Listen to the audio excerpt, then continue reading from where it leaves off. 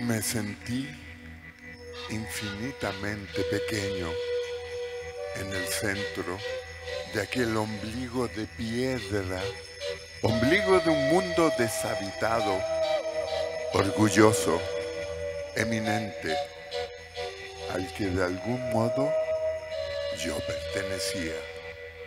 Sentí que mis propias manos habían trabajado allí en alguna etapa lejana, cavando surcos, alisando peñascos.